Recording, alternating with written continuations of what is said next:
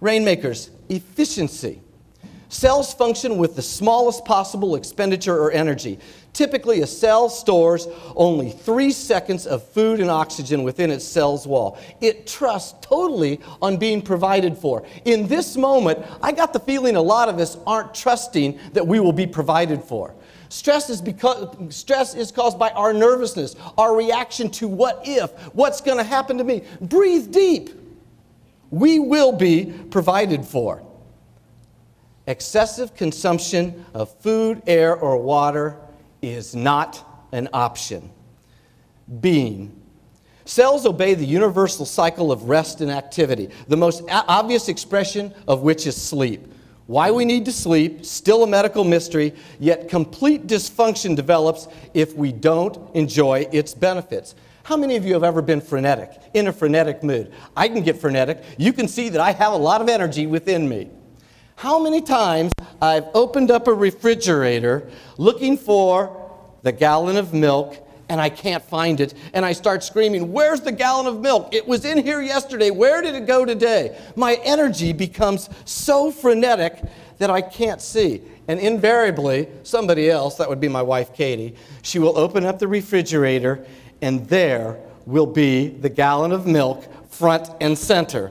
Women, you know that's happened before. Rainmakers, being obsessively active or aggressive or frenetic is not an option.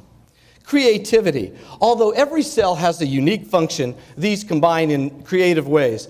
A person can digest food never, never eaten before. A person can think thoughts never thought of before. A person can dance in a way never seen before.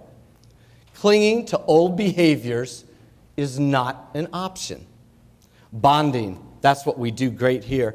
Due to their common genetic inheritance, cells know that they're fundamentally different.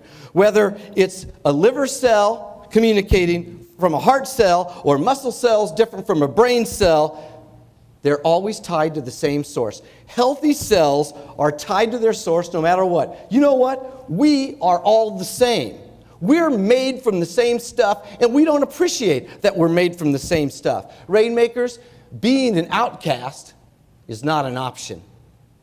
My two favorite. Number nine, giving. This is all about rainmakers. Giving cells. The primary activity, the primary activity of cells is giving which maintains the integrity of all cells. Now, think of those words. Primary activity of cells is giving. The primary responsibility of a rainmaker is giving. That's what we do best. And it maintains the integrity of everything else.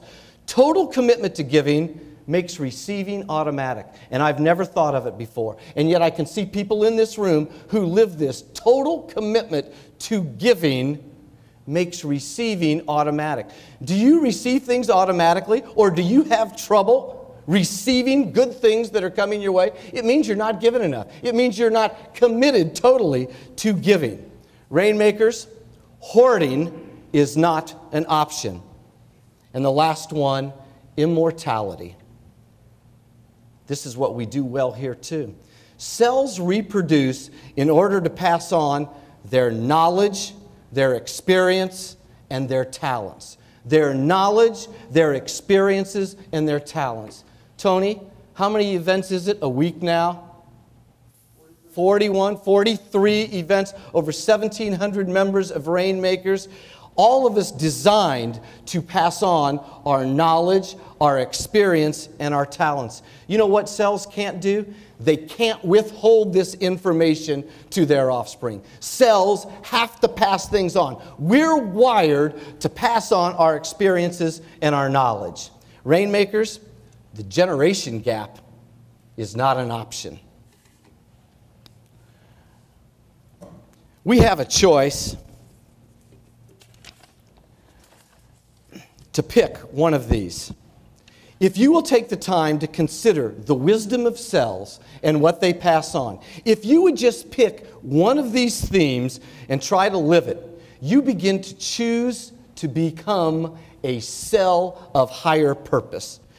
you start to choose the wisdom of the cells and you start to bring wisdom into your own life. Those of you who know me, you know I preach one message, and that is calmness of mind.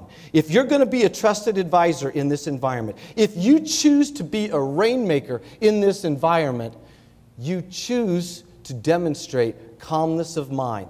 That's all your clients want to hear from you. Their pace is frenetic, they're confused. You're not. If you want to demonstrate wisdom, if you want to demonstrate the life of your cells, you start to demonstrate calmness of mind. You can choose any one of these, and you live it no matter what role you choose, whether as a parent, a teacher, a coach, a salesperson, a trusted advisor, a rainmaker. You have an opportunity to choose just one of these. Only one, and that's all we ask you to do as a rainmaker.